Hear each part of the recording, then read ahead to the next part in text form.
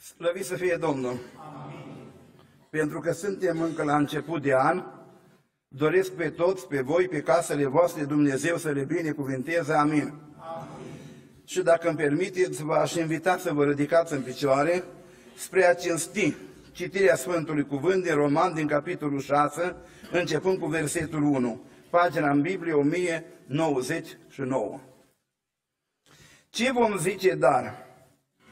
Să păcătuim mereu ca să se mulțească harul? Nici de cum. Noi care am murit față de păcat, cum să mai trăim în păcat? Nu știți că toți câți am fost botezați în Isus Hristos, am fost botezați în moartea Lui? Noi, deci, prin botezul în moartea Lui, am fost îngropați împreună cu El, pentru ca după cum Hristos a înviat din morți prin slava Tatălui, tot așa și noi să trăim o viață nouă. În adevăr, dacă ne-am făcut una cu El printr-o moarte asemănătoare cu a Lui, vom fi una cu El și printr-o înviere asemănătoare cu a Lui.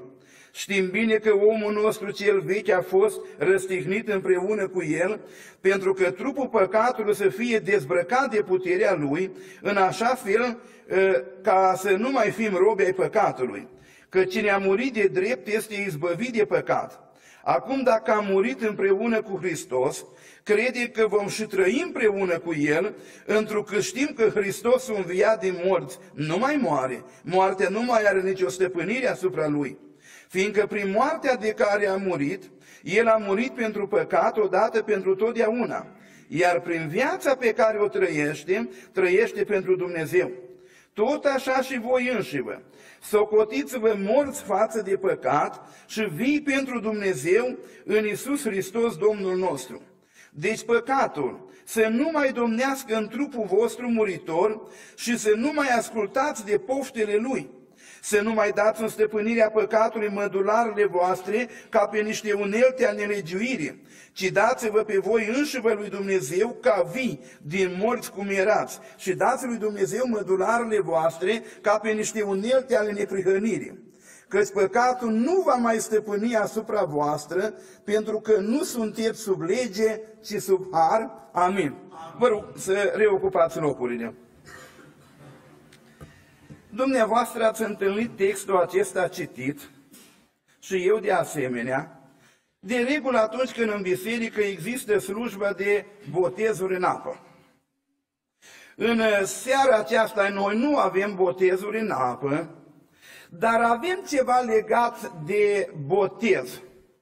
Pentru că în amintirea anilor, oamenii sărbătoresc, lumea creștină sărbătorește botezul Domnului Isus, 6 ianuarie, 7 ianuarie e o zi care ne amintește de Ioan Botezătorul și aici vreau să fac o remarcă.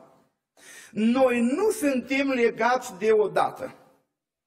Nimeni nu știe exact în ce dată a luat Domnul botezul. Dar suntem legați de un eveniment.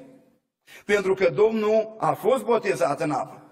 Nu știm exact când a trăit Ioan Botezătorul, când uh, a botezat pe Fiul lui Dumnezeu, când i s-a tăiat capul, nu știm. Și nu ne legăm de data asta, dar știm că Ioan Botezătorul a existat.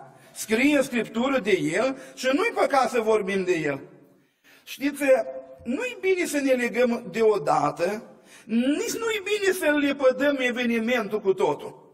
Eu îmi permis să predic de botezul Domnului Isus și acum pe 6 ianuarie, îl mai predic și prin martie, mai predic și prin august, mai predic în toamnă și nu cred că este un păcat. Mi-aduc aminte, la noi era un frate proroc, un om tare pocăit, el medita mereu la cuvântul lui Dumnezeu. Și era prin iulie, prin august, trecea prin fața primăriei și el se gândea cum a murit Domnul și cum a înviat. Și trecând pe lângă un om, i-a spus Hristos a înviat. Ăla s-a uitat în um și a spus adevărat că a înviat Vade Gheorghe. Și el spune, măi, iartă-mă. Ia, eu mă gândeam cum a murit și a înviat Domnul. Și ortodoxii spune, nu e nimic Vade Gheorghe, bine că a murit și a înviat. Și l-a liniștit pe al nostru. Am observat că ați cântat o cântare care în, în original are un text. Astăzi un fiu ni s-a născut. Iar dumneavoastră ați cântat, astăzi Hristos se predică. Și e bună schimbarea, Domnul să vă binecuvinteze. Deci, legat de sărbătoarea aceasta, botezul în apă, care reprezintă moartea împreună cu Hristos și învierea noastră la o viață nouă, eu m-am rezumat doar la versetul 11, în care Pavel ne face o recomandare și ne spune așa, Socotiți-vă morți față de păcat și vii pentru Dumnezeu. Asta e starea care trebuie să o avem noi. E starea care trebuie să ne caracterizeze pe noi. Întotdeauna, în orice zi și în orice clipă, să fim morți față de păcat și să fim vii pentru Dumnezeu. Vine un an, este în față, anul 2018. Și îmi permis să vă fac o orare tuturor celor de aici. Să dea Dumnezeu ca în anul 2018 toți să fiți morți față de păcat, dar toți să fiți vii pentru Dumnezeu. Să ne ajute Domnul, amin? Vă fac o avertizare, nu sunt evanghelist. V-am mai spus, o știți, mai degrabă un învățător și nu știu după o săptămână de evangelizare dacă nu sunteți un pic obosiți pentru studiu biblic. Dar asta mi-e chemare, așa asta fac. Acum vorbim de starea aceasta care trebuie să o avem.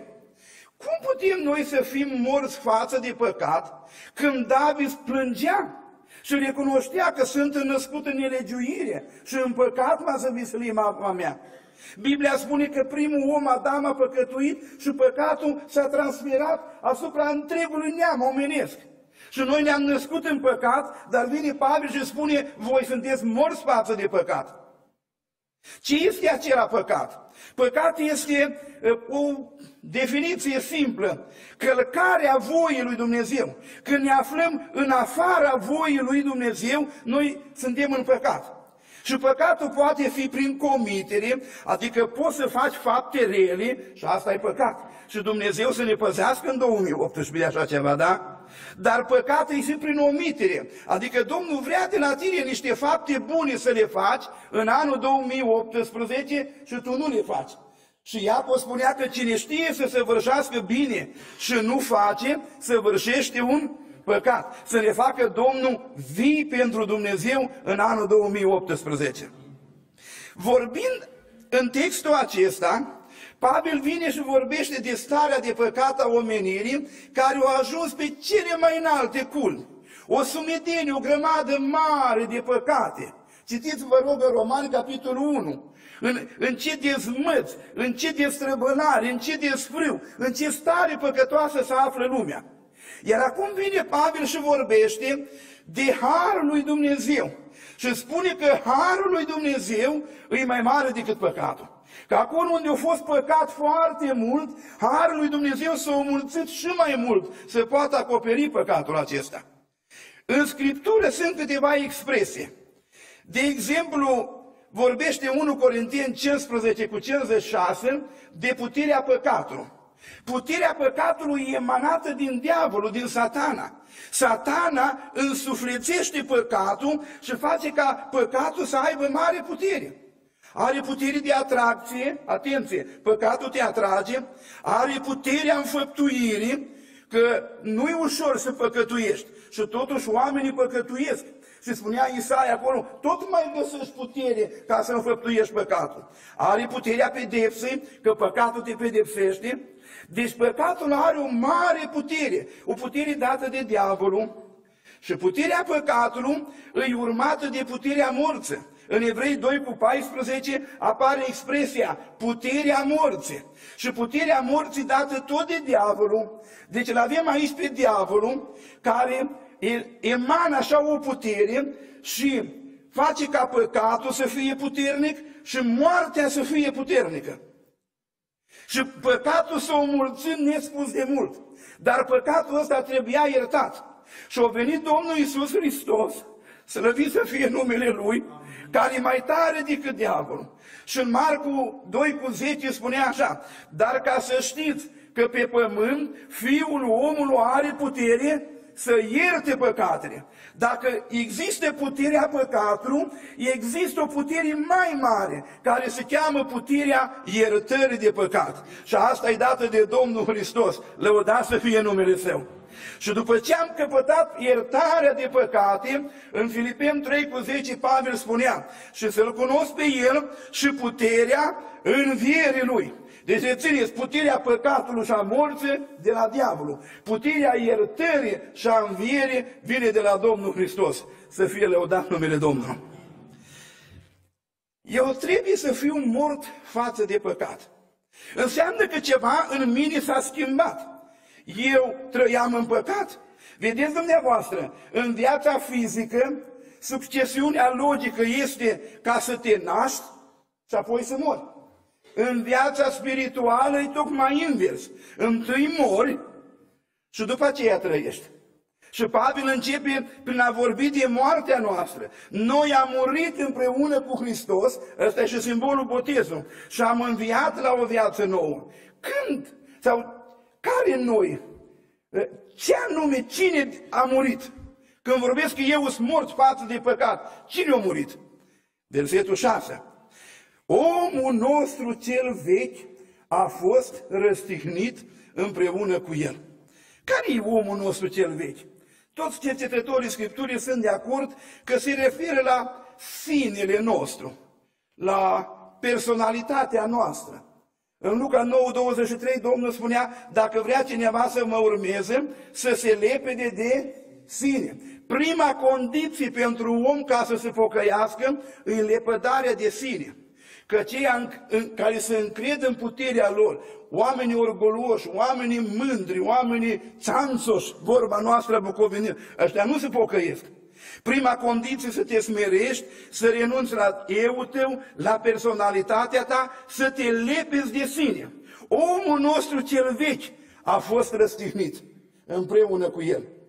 Când a fost răstihnit? Păi când a fost răstihnit Domnul, acum 2000 de ani. Când a murit Hristos pe cruce, atunci El a purtat și păcatele mele. Jerfa Domnului poartă niște taine care încă nu le-am deslușit noi. De ce a fost cea mai groaznică moarte? Că acolo Mântuitorul nostru pe lemn a purtat păcatele noastre. El a purtat păcatele noastre pe lemn, Petru 2 cu 10, da? El toate păcatele omenirii care au fost făcute, înfăptuite și care aveau să se facă sute și sute de ani mai târziu, El le-a purtat acolo pe cruce. De aceea a fost așa de chinuitoare moartea Lui. Când în Ghetisman s-a uitat la paharul acesta, erau toate păcatele mele, toate mizerile din viața mea și a ta. El era Fiul lui Dumnezeu și a spus, Tată, dacă e cu putință, departe paharul acesta. Era prea greu pentru el să-l bea. Și totuși o spun, nu cum voiesc eu, ci cum voiești tu. Și voia lui Dumnezeu era ca el, în trupul său pe lemn, să poarte păcatele mele. Și acum 2000 de ani, trupul meu păcătos a fost răstihnit împreună cu el. El a purtat toate bolile noastre, spunea Isaia 53 cu 5. Prin rănile Lui suntem temăduiți. Toate bolile noastre le-a purtat Hristos acolo. Au fost țintuite pe cruce. Ce avem noi de făcut acum? Noi venim prin credință și ne luăm de acolo de la cruce iertarea, noi mergem prin credință și de la cruce ne luăm vindecarea și credința asta să ne dea Domnul. Amin? Deci noi am fost răstihniți împreună cu El, spunea Apostolul Pavel Galaten, parcă 2 cu 20. Și acum trăiesc, dar nu mai trăiesc eu. Hristos trăiește în mine. Pentru că am murit, euul meu nu mai este. Personalitatea mea, mândria, orgoliul, eu nu mai am. Asta au fost răstihnite. Când au fost răstihnit, acum 2000 de ani, prin răstihnirea Mântuitorului am murit și eu. Asta înseamnă mort. Asta e transformarea mea. Eu am murit, dar am înviat pentru Domnul. Cum am înviat pentru Domnul? prin credință. Versetul 11 are o expresie, socotiți-vă, adică credeți lucrul acesta și Dumnezeu să ne dea credință, amin? Știți, în Ardeal acum am vorbit să ruga un frate bătrân într-o adunare mai tot timpul. Și el se ruga, Doamne, pentru ploaie, pentru soare, pentru pâine, pentru toate. Și avea el o expresie care se ruga și public și în privat, că l-a auzit un frate. Doamne, fă să țină cuini. Și la urmă un frate întreabă, băi frate, te-ai rugat în adunare, te-am auzit când te rugai, ce tot spui că Doamne fă să țină cuini? Și el spune, frate, omul meu cel vechi, firea mea, îi răstihnită pe cruce. Dar am momente când așa se zbate, că mă tem că scapă de acolo și vine iar la mine. Așa se zbate de tare și mă rog, Doamne, fă să țină cuile, să rămână omul meu cel vechi acolo pe cruce. De câte ori n-ar trebui să ne rugăm și noi așa? Că Pavel spunea în Roman, capitolul 7, versetul 22, că după omul din lăuntru îmi place legea lui Dumnezeu. Dar în versetul 23, dar văd în mădularele mele o altă lege care se luptă împotriva legii primite de mintea mea. O, nenorocitul de mine, cine mă mai izbăvi de acest trup de moarte? Noi avem trupul firii noastre pământești, îi pe cruce. Și mai spunea Domnul, să nu purtați grijă de firea pământească, ca să nu-i treziți poftele. Să ne dea Domnul pocăință, amin? Deci noi avem nevoie de credință, după care vine nașterea de nou, acea naștere de care vorbeam. Întâi am murit împreună cu Hristos, viața noastră e ascunsă cu El în Dumnezeu, Colosien, capitolul 3, și am înviat la o viață nouă împreună cu Hristos. Ni s-a dat șansa asta. Pentru că eu când m-am născut, eu m-am născut în păcat. Aveam o fire păcătoasă, așa am ostenit eu. Și am mai spus eu, dar eu n-am fost vinovat de asta, ce vinovat eu am fost eu cu păcătuit Adam în, în Eden, nu? Și m-am născut pe un pământ blestemat, cu spini și cu, și cu mărăcini. Dar nu sunt eu de vină și am firea asta pământească și o destinație tragică, la moarte, la iad. Și eu m-am rugat la Dumnezeu și am spus, Doamne, dar eu nu sunt vinovat. Eu m-am născut în 1960, spin și părămidă era, păcat era în lume, care e vina mea? Și Dumnezeu s-a uitat la mine și mi-a spus, ai dreptate îți mai dau o șansă, îți dau șansa să te mai naști încă o dată. Adică să te naști din nou. Și m-am născut, eu m-am născut din nou. M-am născut și m-am făcut părtaș firii dumnezeiești, cum spunea Petru. Și e, locația mea, eu sunt cetățean împreună cu, cu Sfințul, sunt om din casa lui Dumnezeu. Și destinația mea e o bucurie veșnică. Doamne, dă-ne nașterea asta din nou la toți. Nașterea din apă și din Duh. Și apoi urmează legămintele acestea care trebuie să le facem ca semnul legământului care îl avem noi cu Dumnezeu. Deci am vrut să vorbesc de transformarea noastră. Mort față de păcat și viu pentru Dumnezeu. O să reținem expresia asta. În tot anul 2018 să aveți asta în viziunea dumneavoastră. Eu sunt mort față de păcat, dar îți viu pentru Dumnezeu. Haideți să probăm asta.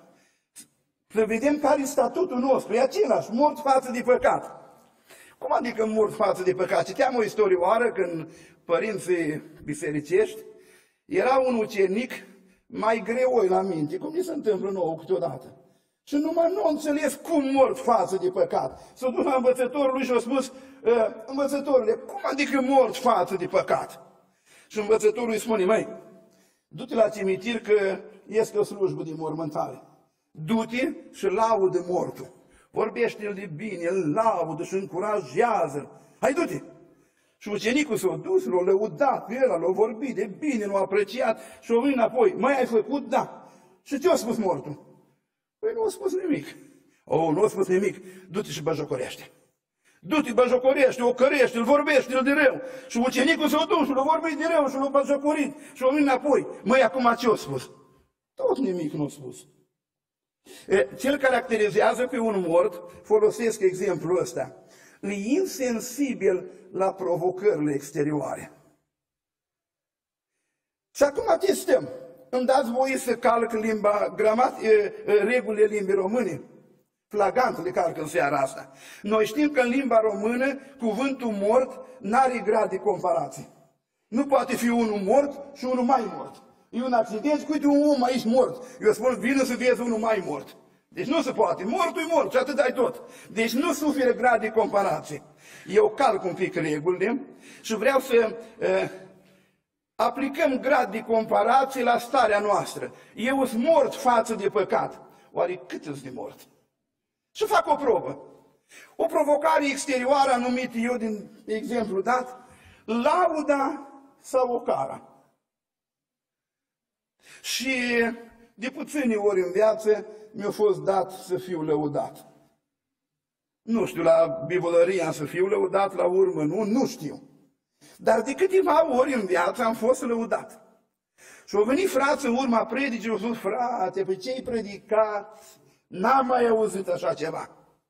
Și eu am pus capul jos și mă rugam, Doamne, fă să țină cuile. Vi s-a întâmplat să fiți lăudați? Poate pe drept, poate nedrept. Dar cum acționați voi când sunteți lăudați? Sunteți morți față de laudă? Într-o adunare din România, fratele păstor s-a ridicat și a prezentat predicatorul zicând, fratele e un om al lui Dumnezeu, îl folosește Dumnezeu și, și mai mult, de așa, l-a prezentat tare frumos. Și când s-a ridicat uh, predicatorul, a spus, Domnul să-l ierte pe fratele că m-a prezentat așa, că nu-i nevoie de atâta laudă. Și Domnul să mă ierte și pe mine că mi-a plăcut cum m-a prezentat. No, acum vine o provocare așa, la bivolărie. Și spune, domne, vine uh, provocarea cu lauda. Mortul o stat inert, fără reacție la lauda ucenicului. Noi cum facem? Eu încă mă întrebam, oare care ispite mai mare? Când ești lăudat sau când ești ocărât? De ocară știu cum e că am avut mai multe, mai multe decât laude. Am trecut mai multe ocări. Și am găsit în Sfânta Scriptură oameni care au dovedit că sunt morți față de păcat. În fapte, Barnaba și Pavel ajung în Listra, predică Evanghelia, un omolog acolo. Oamenii ăștia i-au privit pe apostol cu suspiciune. Nu știau încă ce să creadă despre ei, cei cu dânsă, așa cum vin în adunările noastre câte un predicator și nu știe să-l pun, să nu-l pun, strică, ajută, Domnul nu face de cunoscut și decât să măriți, mai bine îl țin pe bancă câteodată, știi? Mai avem cazuri din astea. Dar li s-a dat un cuvânt. Și oamenii ăștia au început să predice apostolii și au făcut minunea asta, au, au ridicat o rogul în picioare și oamenii și-au schimbat părerea. Și au venit preoții cetății, eh, a lui Jupiter, a lui Mercur, a căror templu era acolo la intrare. Și le-au adus tauri, au început să aducă taurul de funii și le-au adus cu ununi să ne aducă jertfe. Și Biblia spune că Pavel și Barnaba au sărit în mijlocul lor și au sfâșiat hainele și au spus, oameni buni, pentru ce faceți asta? Noi suntem oameni de aceeași fire ca și voi. Erau morți. Și erau morți bine. Erau morți bine, poate mai morți decât suntem noi predicatori de azi.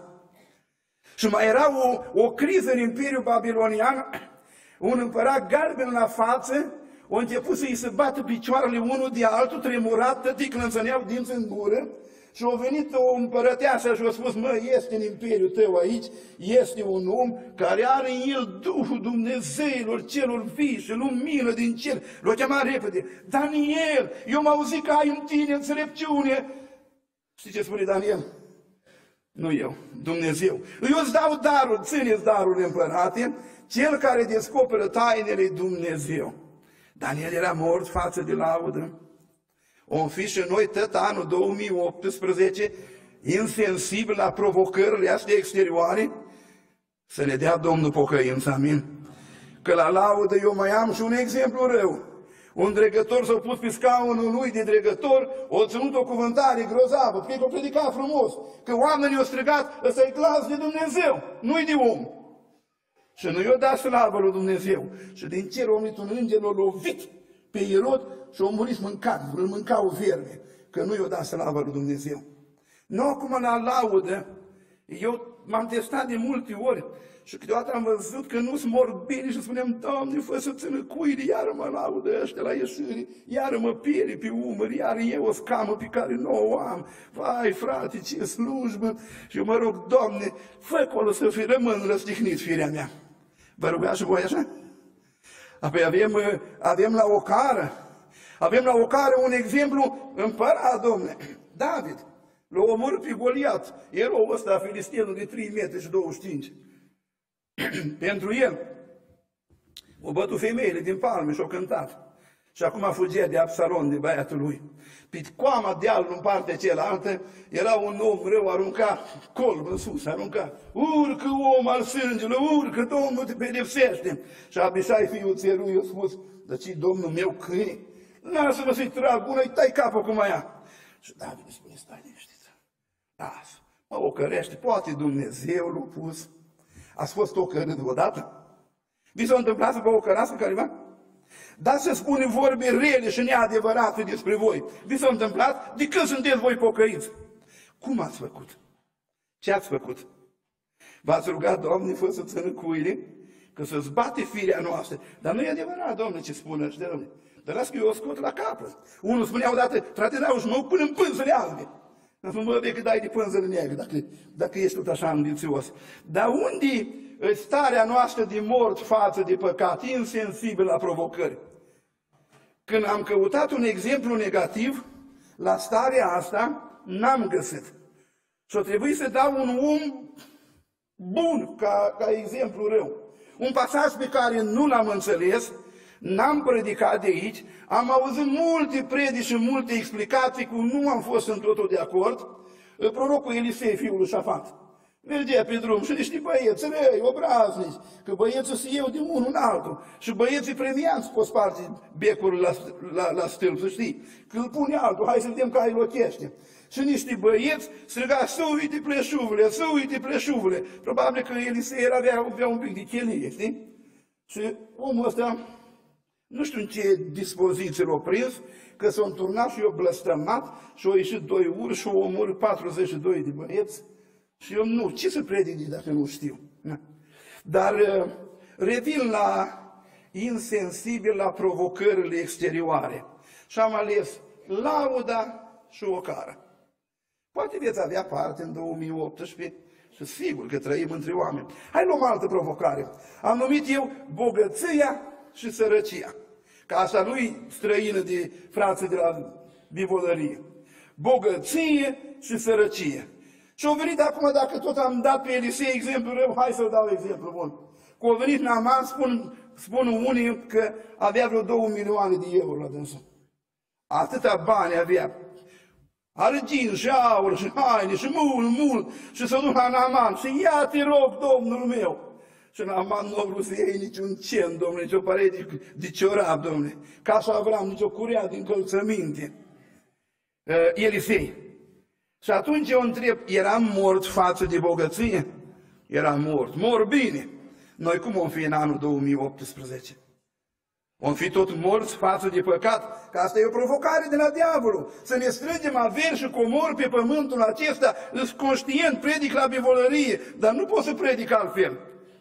Nu pot să predic altfel că Domnul spune că într-o zi cerurile vor trece cu trosnet, trupurile cerese vor topi de mare căldură, pământul cu tot ce este pe el va arde. Amin?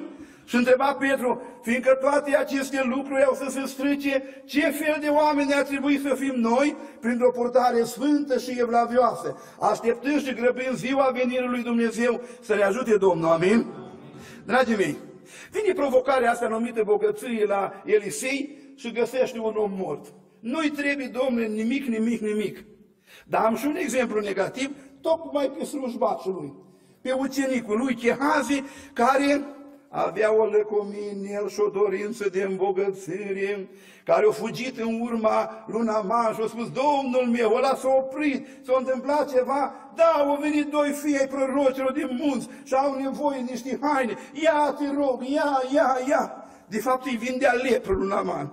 Namanul Chehaze. De fapt îl umplea de lepră pe Chehaze. Și când o vine apoi, unde a fost uh, Chehaze? Robul tău nu a fost nicăieri. Oare Duhul meu nu a fost cu tine când ai alergat după omul acela? Auzi, Chehaze, este vremea acum să luăm rob și roabe și băui și măgari și să facem avere? Dar ia spuneți dumneavoastră, în 2018 este vremea să facem avere la bivolării? Și iată ce cum sunteți dumneavoastră. Domnul să ne binecuvinteze cu pocăință. Și apoi vine, vine provocarea asta exterioară numită bogăție și vine sărăcia și am un pocăit. La sărăcie l-am pe Iov, unul din cei mai bogați oameni care au trăit pe pământ. Și când într-o zi Dumnezeu o îngădui să-i sărăpească tot, și veneau așa slugile una câte una, parcă erau înțelese și raportau numai pagube și pierde, faliment total. O pierdut și boi și cămilele și măgare și oile și cirezele toate, Biblia spune că Iov și-a rupt hainele, s-a plecat înaintea Domnului și a spus, gol am ieșit din pântecele mamei, gol mă voi întoarce înapoi, Domnul a dat, Domnul a luat, numele Domnului fie binecuvântat. În toate aceste lucruri Iov n-a păcătuit. Iov era un om mort față de sărăcie. L-a încercat și cu bogăția, l-a încercat și cu sărăcia, el depindea de Dumnezeu. Dar nevastă sa nu a fost mai așa. Ca exemplu negativ o avem pe nevasta lui Iov. Câteodată și nevestele împing pe bărbați înainte. Uite mă ăla ce face, uite gardul, ce mașină, uite ăla, uite ăla. Și în loc să fie o femeie pocăită cu frică de Domnul, îl ațuță pe bărbat și îl pune pe o pantalunecoasă așa. Dumnezeu să ne dea tuturor pocăință, amin? Sau dacă este o altă provocare și eu îmi testez gradul meu, cât îți mort față de păcat, și apoi dacă om avea vreme, nu știu, cât suntem de vii față de Dumnezeu. Și vine o altă provocare și am numit-o eu întâietate sau dispreț. Vom încerca odată gândul de întâietate pe la servici, pe acasă, pe la școală, pe la facultate și mai ales prin adunare. Mai ales prin adunare. Cum stăm noi cu ispita asta? Că eu ar trebui să fiu un pic mai în față. Cum stau? Îți mort sau nu-s mort? Cât îți mort? Odată am venit o delegație la un om al lui Dumnezeu, la un viteaz, recunoscut de îngeri, a spus, Domnul este cu tine, viteazule. Și Gideon a reputat o mare biruință. Și la urmă a venit o delegație de bătrâni, a spus Gideon, ne-am gândit bine. Tu vei domni peste noi și fiii tăi și fiii fiilor tăi. Gideon, tu, vitiore și nepoțe, veți domni peste noi. Știți care a fost reacția lui Gideon? O să nu, nu, nu voi domni eu. Domnul să domnească peste voi. Doamne ajută! Când vine câte o dorință de întâitate, câte o propunere de aia, eu iară mă rog, Doamne, fă să țină cuile. Eu aș vrea un pic mai în față, câte un pic și, și uite, acum aș avea ocazia. Hai să fim pocăiți. Amin? Apoi avem uh, exemplu celălalt cu Diotref, căruia în epistola 3 Ioan spune, îi place să aibă întâietate. Îl încearcă diavolul cu întâietate și omul ăsta nu-i mor deloc. El e tare activ pentru păcat, el tot vrea primul. Să musli Duhul, Domn, Duhul Domnului, să musli Duhul ăsta. Avem uh, exemplu unui om numit Achitofel. Domnule, om înțeleg, Biblia spune că sfatul lui avea mare putere. Și îl învață un lucru pe Absalon. Și îl învață bine pe Absalon. Dar o venit Hușai și o zădărnici planul. Și când o zădărnici planul ăsta, om s-a supărat, că a pierdut întâietatea lângă rege, acolo, lângă Absalon. Și știi cât de tare s-a mâniet? S-a dus acasă și s-a spânzurat. La noi odată era un sfat de frați, eram un copil mic. Și un frate a spus ceva, și alt frate a spus, frate, nu-i bună părerea asta. Parcă acum îl bădoi și pușcă din adunare și o ieșit afară, mâine o să plece acasă. De la un bătrân și a uitat pălăria. La noi era cui, erau pălării lângă părete. Și o strigat un frate, dați-i pălăria, bă, că e mânios. Și eu îl țin minte, el a predicat la Anvon. Nu știu predicile lui, dar știu numai când s-a enervat tare și a ieșit și a uitat pălăria. Asta țin minte, da? Cum e cu dorința de întâietate când îți încercat așa de, de gândul ăsta și frații nu recunosc. Sau m-am gândit dacă vreți la levitul din casa lui Mica. Când l-a luat Mica, i-a dat acolo doi terafim, l-a pus să fii preot, să fii tată și s-au bucurat. Dar au venit seminția daniților, o 600 de mii de oameni, o 600 de bărbați. Au venit la el și au spus, măi, e mai bine să fii preot la o familie sau la o seminție. Și Biblia spune în cartea judecători, preotul s-a bucurat în inima lui. Știți cum se întâmplă? Eu mai sunt invitat să predic la câte o evangelizare. Și de regulă nu pot, că mi-am propus să mai stau acasă. Și mi-a propus și în biserică și peste tot să fac un pas înapoi. Dacă aș fi predicat de Ioan Botezătorul, că am predici. Aș fi predicat din lecțiile care ne-au dat, inclusiv ultima care spunea, eu trebuie să scad și el trebuie să crească. E un moment în viața noastră când trebuie să facem. Și apoi spun, frate, nu pot. Și apoi mă încearcă, spune, frate, noi avem biserică mare, 500 de membri suntem și am vorbit cu frață și te așteaptă. Și eu iară mă rog, Doamne, fă să țină cu ele bine. Că la 500 de membri, la 1000 de membri, firea e fire, fraților. Și dacă nu suntem morți bine, greșim înaintea lui Dumnezeu. Mi-aduc aminte că am fost chemat să predic într-o seară, într-o duminică seara la Elim Timișoara. Dar eu fusesem dat cuvânt într-o adunare mică, mică, mică, mică. I-am zis, frate, nu pot că am promis în altă parte. Măi, dar cât să acolo, mă întreba cineva. Dar ce are importanță cât să acolo? Dacă eu sunt mort față de lucrurile astea, mai are importanță? Păi ori predic la șapte frați, ori predic la șapte mii, doar eu tot eu, nu? Că nu-i dorință de întâitate. Numai levitul ăla s-a bucurat că predică la mulți, cântă la mulți, slujește la mulți. După Revoluție au unit într-o seară la noi corul din Volovăț. Nu erau plecați în diaspora, aveau un cor grozav, domne, atât de frumos au cântat, erau vreo 70 am numărat eu. Și în seara aceea am primit și noi multe bilete la Amvon. Sora Carmen cu sora Estera au dorință să laude pe Domnul. Sora nu știu care să... Aveam peste 15 bilete. Și eu mă gândeam, măi, ce har o dat în copchilele astea noastre, când adunarea era plină și înghesuit și corul de la Volovăț, toți voiau să cânte. Dar cum să le pun? Și am ridicat bilete, am spus, promit că joi seara, pe toate vă pun, a venit joi seara. Nu știu dacă am pus bună, nu au mai venit. Dar de ce oare? Că suntem morți față de păcat, morți față de, de, de, de ispita numită întâietate și apreciere publică. Eu aș dori ca Dumnezeu să ne dea pocăință. Ispita asta o să vină în anul 2018, o să mai vină și la mine. Și când o simt că vine și omul firesc să-ți bate, eu mă rog, Doamne, fă să țină cuine. Fă să rămână firea mea acolo pe cruce, că eu am murit. Am fost răstignit împreună cu Hristos și acum trăiesc, dar nu mai trăiesc eu. Hristos trăiește în mine, amin?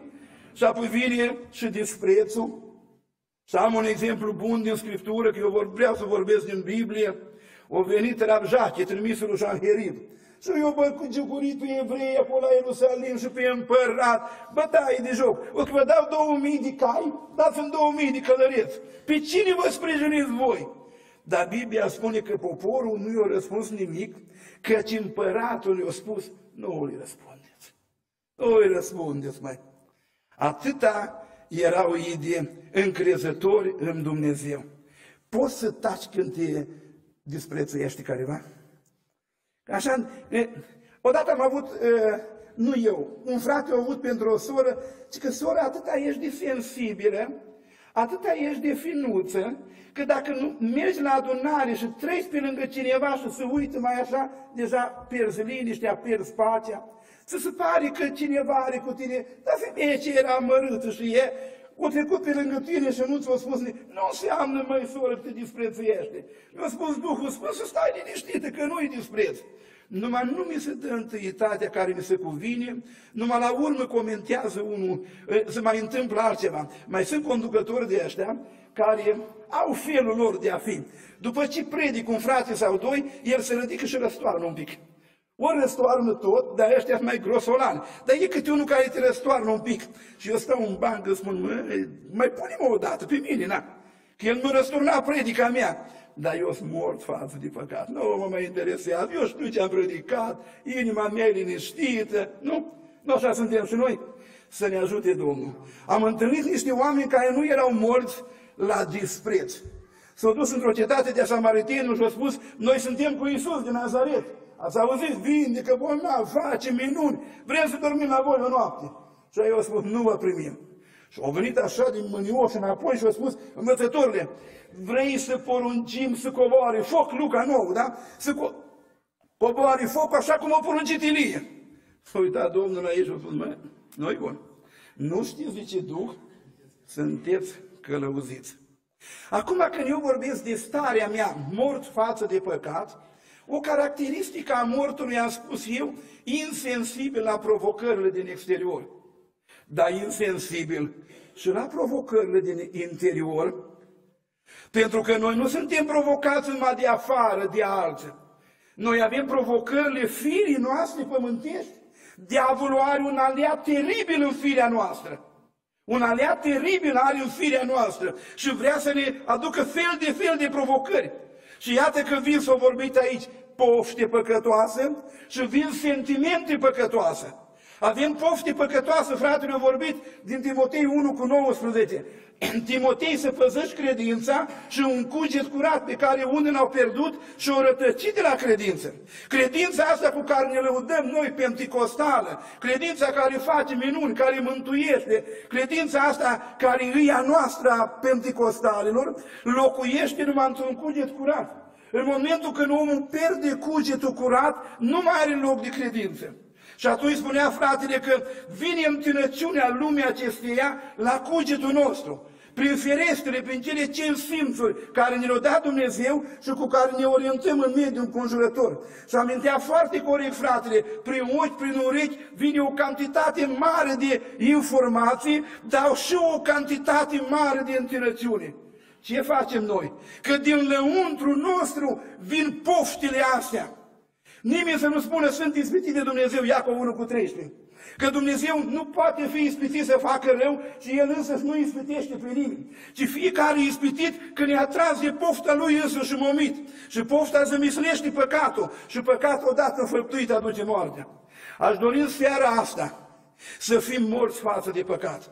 Și în momentul când sunt răbufniri ale firii noastre pământești, că le trăim, nu le dăm dreptate. Nu suntem arhanghel coborâți din cer. Primesc zilnic multe telefoane. Frate, am o întrebare, frate, am o mărturisire. Frate, de ce am luptat asta? Cu poftele tinerețe. Zic, o să ai toată viața mea. Că Dumnezeu nu ne-a făcut roboți. Nu ne-a făcut roboți să ne regleze așa sfinți, atunci pentru ce mai luam răsplata? În anii tinerețe, când aveam lupturile care le aveam, am uh, ales eu niște fraze din adunare, care mi se păreau deosebiți. Și eu am avut o rugăciune și m-a rugat, dar sincer, plângând. Și am spus, Doamne Iisuse, în privința fotbalului, a sportului, adrenalină, cum eram eu tânăr, fă-mă, te rog, ca pe fratele Ion. Era un frate Ion care nu știe nica. Doamne, în privința poftelor, a, a femeilor, a, a plăcerilor. Te rog, fă ca fratele Vasile. Era un frate care nu considera sfânt. O, moale cu capul în jos. Doamne, în, în, în privința lăcomiei de avere, fă ca pe fratele, știam eu că e un frate cu lepădară de sine. Așa m-a rugat eu. Și parcă mi-a venit aha deodată, mi-a vorbit Domnul. Dar lupta ta unde? Dar tu pentru ce ai să primești cunună? Fraților, noi avem de luptat.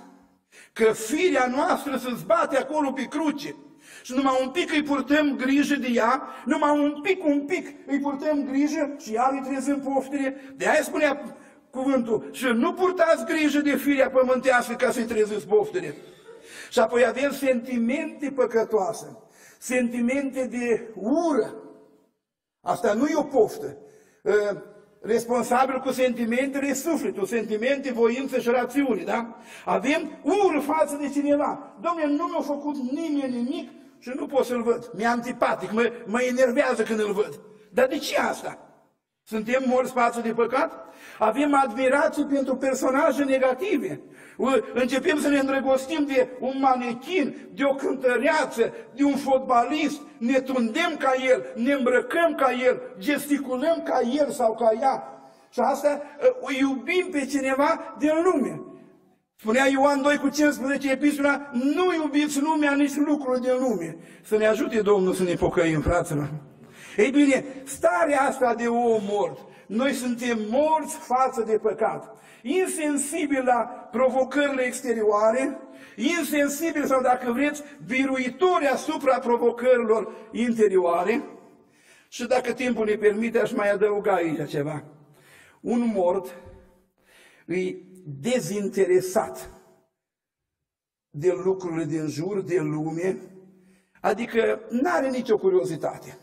Ați văzut voi morți foarte curioși să se să tragă, oare câți o veni la mine la privechi? Oare asta gândește mortul? Nu o gândește asta, nu? Oare când e un accident, să ridice capul mort, băi, mai murit mult? Sau pe linia întâia de front, oare sunt mulți prizonieri prinși? Nu. Mortul nu are nicio curiozitate. Cum suntem noi cu curiozitatea față de păcat? Că vine păcatul și ne îmbie, uite cât e de bun. Și Biblia spune în cartea Genese că Eva a văzut că fructul era plăcut, l-a privit și de dorit. Și iată că pofta firii o făcut să întindă mâna, au mâncat ea, o dat la bărbat și au murit și ne-au nărăcit pe toți. De ce? Că e o poftă lăuntrică care a venit o poftă păcătoasă. Exemplu bun, îi am pe băieții din Babilon, Hanania, Mișael, Azarea, Daniel, care au spus, împărate, noi nu ne spurcăm cum. Nu mă interesează ce mănânci tu, nici vinurile tale, nici băuturile tale. Nu mă interesează gustul astea. Noi mâncăm verdețuri amare. Noi suntem fii a lui Dumnezeu. Pentru noi poftele astea nu sunt.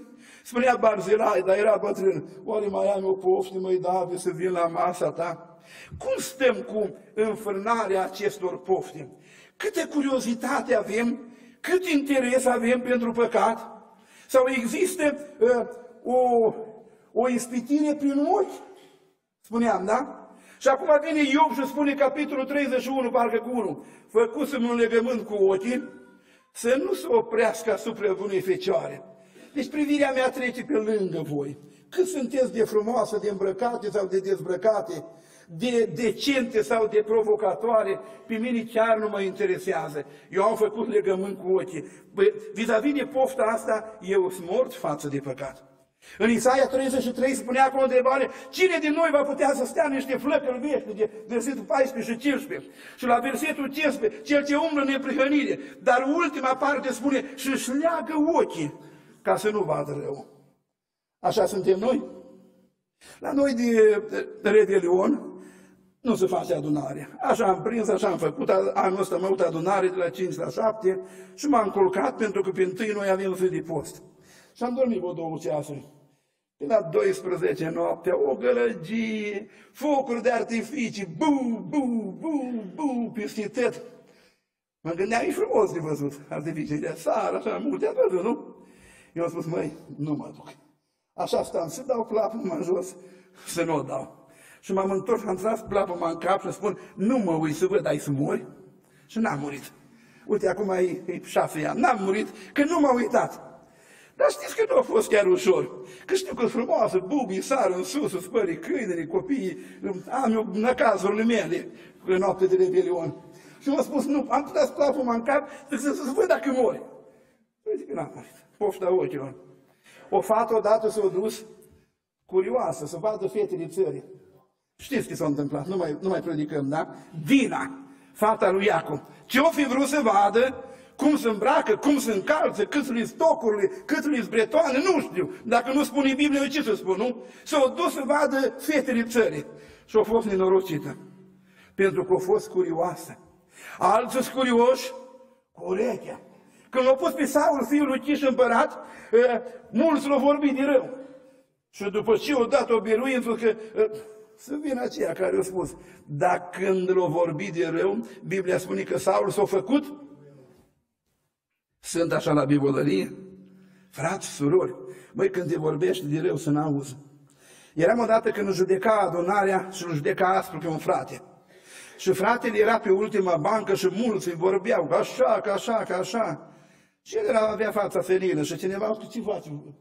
Fratele vorbea și el încet. Și unul îi spune, vorbește în alte limbi.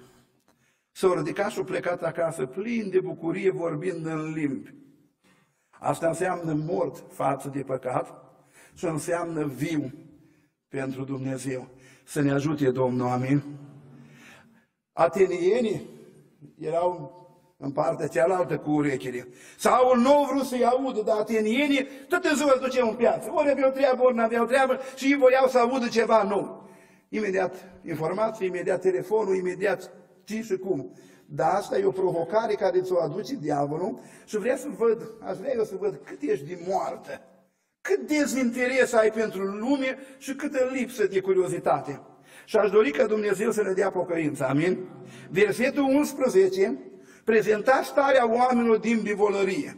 Și spunea așa că cei din bivolărie sunt morți față de păcat și sunt vii pentru Dumnezeu. Nu mai am timp să intrăm în partea a doua. Ce înseamnă să fii viu pentru Dumnezeu?